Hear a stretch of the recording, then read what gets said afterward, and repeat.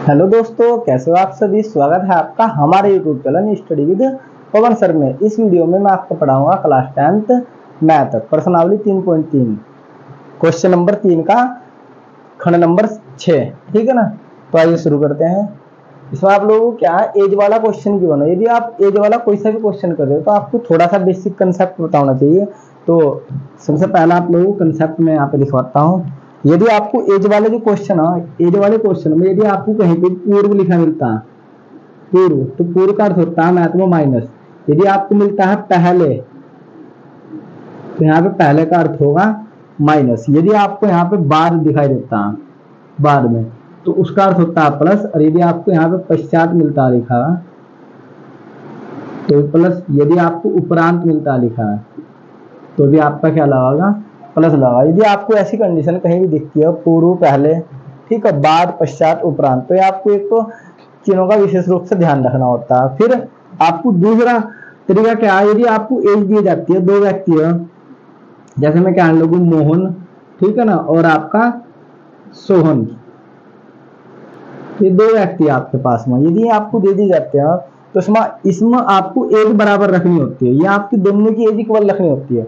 यदि आप एज का कोई भी क्वेश्चन कर रहे हो तो दोनों की एज जो होगी वो इक्वल दिखाई जाएगी ठीक है ना? कैसा उदाहरण के रूप में मैं आपको बताता हूँ। यदि आपको, मैंने कहा कि मोहन की जो एज है वो पच्चीस वर्ष है। ठीक है ना? और जो सोहन की एज है वो कितनी है? दस वर्ष अब यहाँ पे आपको कंडीशन अप्लाई करवाएगा कि पाँच वर्ष पूर्व।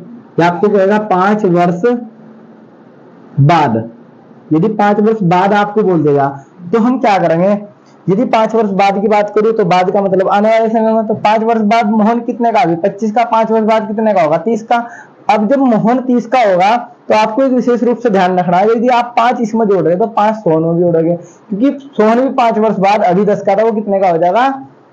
पंद्रह का हो जाएगा। तो पाँच वर्ष आपको इसकी भी एज बढ़ानी थी जब आप एज में डिफरेंस कर रहे हो तो आप लोग यदि पाँच मोहन में जोड़ोगे तो पाँच सोहन में जोड़ोगे। ठीक है? यदि आप पाँच मोहन में से घटाओगे तो पाँच ही सोन में से घटाओगे तो आपको बराबर चलना है। ऐसा ना हो कि आपने पाँच मोहन में तो जोड़ दिए सोन में आपने नहीं जोड़े। तो एज का सवाल गलत हो जाएगा आपका। ठीक है ना? तो अब क्या करना होगा यदि बाद की बात चल रही है यहाँ पे। तो हम करेंगे पच्चीस पच्चीस प्लस पाँच। बराबर आपको तीस का मिलेगा देखने को। फिर आता आपका सोन सोन कितना? दस प्लस पाँच। तो कितने का हो जाएगा? पंद्रह का। अब क्या करना होगा? एज बराबर करनी है ना एज क्या करनी है? बराबर। अब मोहन तो कितने का होगा? तीस का। अब सोहन को तीस का कैसे कर जाएगा? तो इसमें बोले जाएगा कि मोहन की आयु पाँच वर्ष बाद सोन की आयु से कितनी हो जाएगी? दुगनी हो जाएगी। तो जब भी आप दुगना करोगे तो बच्चे कंफ्यूज रहते हैं कि दुगना किसमें करना। तो जो आपको एज छोटी दी जाएगी, जो भी व्यक्ति उनमें छोटा हो तो उसकी एज क्या करनी होती है? आपको दो गुनी तिगुनी तिगुनी, जितनी भी आपको बोल लगा उतनी आपको गुनी कर देनी होती है। तो यहाँ से आप दो गुना इसका करोगे इसके बराबर कर दोगे।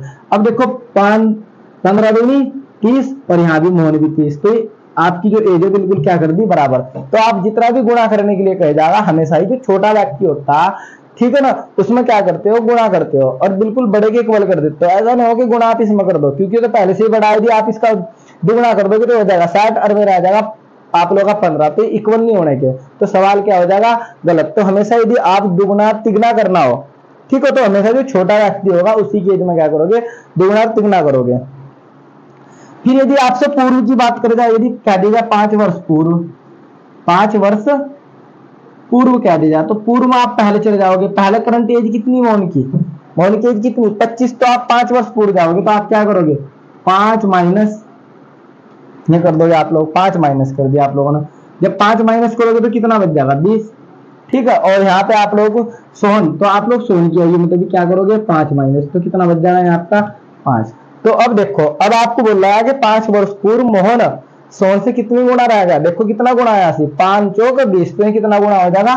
चार गुना इसे बोल लगे तो यहाँ कंडीशन आपको चार गुणे की दी जाएगी।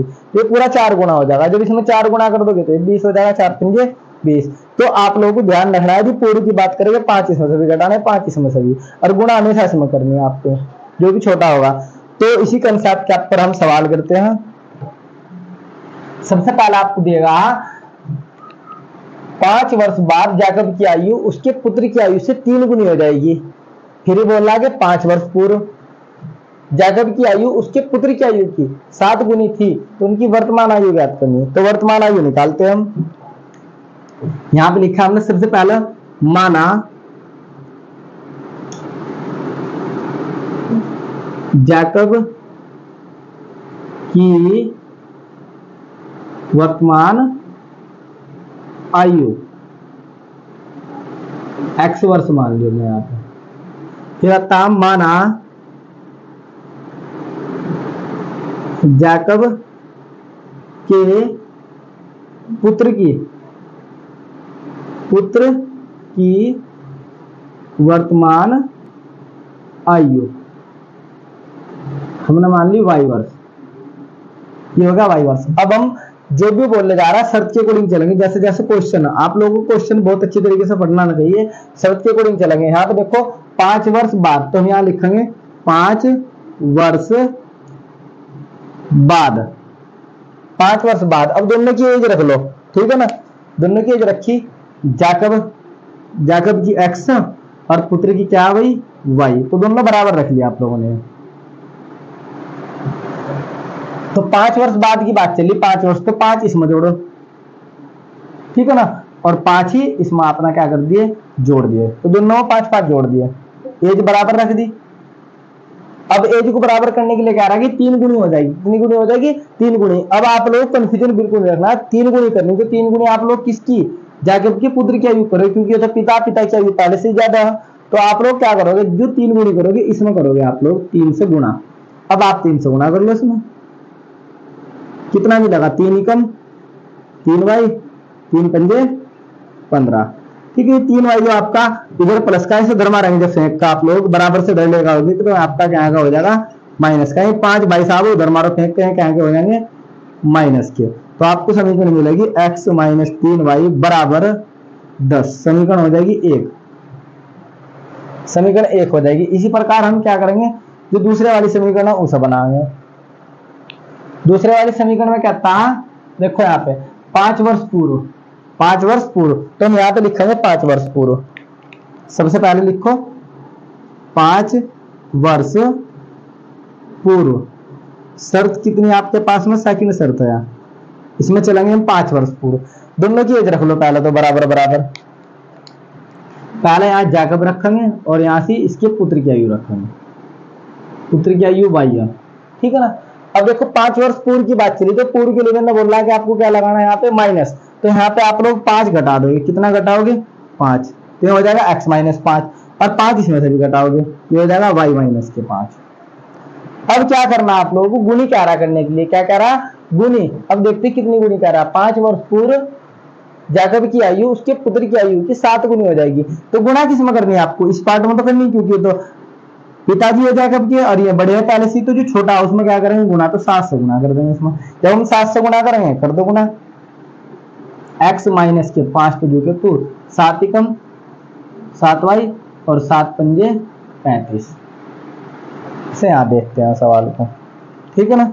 अब क्या करना आप लोगों को? जो सात वाई है, ये प्लस का इसे धर्मा रखें का। ये हो जाएगा एक्स माइनस सात वाई ठीक है ना? और ये माइनस के पैंतीस पहले से यहाँ पे। और ये आपका माइनस का पाँच इधर मारोगे फेंक का क्या हो जाएगा प्लस का। तो आपके पास बचा एक्स माइनस सात वाई बराबर माइनस के तीस समीकरण हो गया आपके पास में दो। समीकरण एक समीकरण दो, दोनों से इन्हें हल करते हैं। समीकरण एक व दो को हल करने पर, हल करने और जब हम हल करेंगे तो ये आपके पास हो जाएगी एक्स माइनस तीन वाई बराबर दस हो जाएगा एक्स माइनस सात वाई बराबर माइनस के तीस। तीन बदल लो विलोपन विधि लगा लो। जो प्लस है उसे माइनस कर दो, जो माइनस है उसे प्लस करो। ये प्लस है, इसे माइनस कर दिया। ये माइनस है, इसे प्लस करो। ये माइनस है सब प्लस कर दो। एक्स तो एक्स का ठीक है ना? तो आपके पास, यहाँ देखो, ये आपके पास में प्लस के। सात वाई, ये से भूल जाओ, प्लस के सात वाई, अपर माइनस के तीन। तो देखो, यदि आप सात में से तीन घटाओगे कितना बचेगा? चार। तो अब आपके पास में सात में से तीन गए तो आपको मिलेगा चार वाई। ठीक है ना? और ये आपके पास प्लस के दस, प्लस के तीस और ऊपर दस टोटल कितने हो गए? चालीस। चार दिशाम चालीस। तो वाई बराबर आपको मिल गया दस। वाई बराबर कितना आ गया? दस। फिर हम क्या करेंगे? वाई का मान किसी भी एक समीकरण रख दो यहाँ से। Y का मान, y का मान समीकरण एक में रखने पर। एक आपके पास कौन सी है? ये वाली। तो x माइनस तीन वाई बराबर दस। हमने y का मान रख दिया। X तो झुका तो तीन भी झुका तो y y की वैल्यू कितनी है? दस। हमने यहाँ पे रखा दस बराबर दस। दस दिया तीस, बराबर दस। ये आपके जो तीस है, ये माइनस के उधर जहाँ क्या हो जाएँगे प्लस के। तो ये कितना हो जाएगा? चालीस। तो आप लोग लिखोगे, पता है, जैकब की आयु। तो जैकब की आयु चालीस वर्ष। क्योंकि एक्स हमने कौन मान रखा था। जैकब तो जैकब की आयु कितनी होगी? चालीस वर्ष। और यहाँ पे लिखोगे, जैकब के पुत्र की आयु ये हो जाएगी हमारी कितनी? दस वर्ष। ये क्वेश्चन आप लोगों का वेरी मोस्ट इंपोर्टेंट है, जो आपको एग्ज़ाम्स में देखने को मिलता। है यहाँ पे जाकब के स्थान पे कभी कभी एग्ज़ाम्स में मोहन देखने को मिलता। है आपको यहाँ पे मोहन दे देगा। मर जाओ यहाँ पे बोल रहा, पाँच वर्ष बाद मोहन की आयु, उसके पुत्र की आयु से तीन गुनी हो जाएगी। जहाँ भी जाकब है वहाँ पे आपको मोहन दे देता क्वेश्चन ये रहता। कई बार ऐसा देखने को मिला है। तो वेरी मोस्ट इंपोर्टेंट क्वेश्चन है। तो अब हम उदाहरण नंबर देखते हैं। उदाहरण नंबर ग्यारह है लगभग ये। और ये भी आप लोगों का एग्ज़ाम्स में दो से तीन बार आ चुका है। तो आइए शुरू करते हैं। देखो, यहाँ पे क्वेश्चन आप लोगों का दो व्यक्तियों की आय का अनुपात। दो व्यक्तियों की आय का अनुपात नौ अनुपात सात है और उनके खर्चों का अनुपात चार अनुपात तीन है। यदि प्रत्येक व्यक्ति प्रति महीने दो हज़ार रुपये बचा लेता है। तो उनकी मासिक आय ज्ञात करनी यानी कि दो व्यक्ति यहाँ पे। एक व्यक्ति ए, एक व्यक्ति बी। ठीक है ना? वो क्या करता है? उनके खर्चों का अनुपात अलग और आय का अनुपात अलग है। ठीक है ना? तो सबसे पहला आप लोग क्या कर लेना है? उनकी आय का अनुपात मान लेना। फिर क्या मान लेना? खर्च होगा। ठीक है? तो हम लिखते हैं। सबसे पहला, माना व्यक्तियों की मासिक आय। मासिक आय। हमने मान ली एक्स रुपए। उन व्यक्तियों की जो मासिक आय है, वो कितनी है? एक्स रुपए है। ठीक है? फिर उनका आता खर्चा? माना व्यक्तियों का खर्च।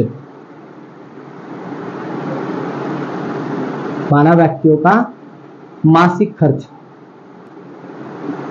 मासिक खर्च। हमने मान लिया वाई रुपए ठीक है? तो कंडीशन फ़र्स्ट शर्त पहली आपके पास में, पहली शर्त के अकॉर्डिंग हम चलते हैं। इसमें से पहला व्यक्ति रखते हैं। पहला जो व्यक्ति है, देखो, उसकी जो आय है, क्योंकि दो व्यक्ति है तो दो में से जो ये वाला पहला और ये वाला कौन सा है? दूसरा। तो पहले वाले व्यक्ति की आय इतनी है और वो खर्चा कितना कर रहा है? चार के अनुपात में। दूसरे वाले की आय कितनी है? सात। के अनुपात में खर्चा कितना करता है? तीन के अनुपात में। तो सबसे पहले पहले के अकॉर्डिंग चलते हैं।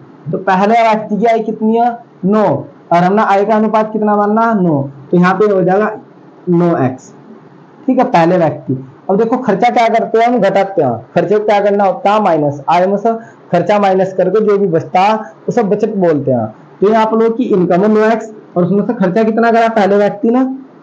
चार वाई। क्योंकि खर्चा हमने वाई मान रखा। और फिर भी कितने रुपए बचा लेता है? दो हज़ार रुपए। तो समीकरण कितनी होगी? एक इस प्रकार से आपकी? शर्त सेकंड। शर्त सेकंड में क्या? है अब दूसरा व्यक्ति, दूसरे व्यक्ति की जो आय है, कितनी है? सात। और हमने क्या माना कि एक्स तो यहाँ पे आई कितनी हो जाएगी इसकी? सात एक्स फिर माइनस होता है खर्चा। खर्चा कितना आता तीन वाई तो यहाँ पे हो जाएगा तीन वाई फिर भी ये कितने रुपए बचाता है दो हज़ार रुपए दोनों दो हज़ार रुपए समीकरण कितनी होगी? दो। यहाँ लिखते हैं समीकरण एक व दो को हल करने पर। हल कैसे करेंगे? सबसे पहले इनके गुणांक बराबर कर लेंगे। यहाँ पे गुणांक बराबर कर लेंगे। तो गुणांक बराबर करने के लिए हम इसमें क्या करना है? ऊपर नौ दिखाई दे रहा है, नीचे दिखाई दे रहा है, सात। तो ऊपर वाली जो समीकरण उसमें सात से मल्टीप्लाई करो और इसमें नौ से। तो करो भाई गुना यहाँ पे यहाँ पे गुना करी सात से, और यहाँ पे किससे करी नौ से। ठीक है? अब देखो, नौ सत्ते, तिरसठ एक्स सात चौक, अट्ठाईस वाई सात दूनी, चौदह। फिर आता है इसमें नौ सत्ते, तिरसठ। फिर इसमें गुणा करी। नौ कम नौ नौ धुंधार नोतिया सत्ताईस वाई। नौ दूनी, अट्ठारह। ये हो गया आपके अट्ठारह। इसमें चिन्ह बदल लो आप लोग यहाँ पे। विलोपन विधि से करते हैं, सर। माइनस, और ये आपका माइनस है सब प्लस कर दो, और इसे क्या कर दो? माइनस कर दो। अब आपके पास में क्या होता है भाई? तिरसठ एक्स। ये आपके प्लस के नीचे के माइनस के आपस में से कट जाते हैं। यहाँ पे सत्ताईस है और यहाँ पे अट्ठाईस है। अब देखो अट्ठाईस ज़्यादा तो अट्ठाईस में से आप लोग जब सत्ताईस जाएँगे तो आपके पास माइनस का वाई बच जाएगा। अब यहाँ पे आपके अट्ठारह हज़ार है, यहाँ पे चौदह हज़ार अट्ठारह हज़ार में चौदह हज़ार जब जाते हैं तो आपके पास कितने बचेंगे यहाँ पे? चार हज़ार। माइनस के चार हज़ार रुपए। माइनस से माइनस गया वाई बराबर आपके पास वाई बराबर आपको मिला चार हज़ार रुपये तो आपका जो वाई की वैल्यू निकल गई चार हज़ार रुपये, अब हम दूसरा की याद करते हैं। क्या लिखते हैं? वाई का मान समीकरण एक में रखने पर। समीकरण एक कौन सी आपके पास में?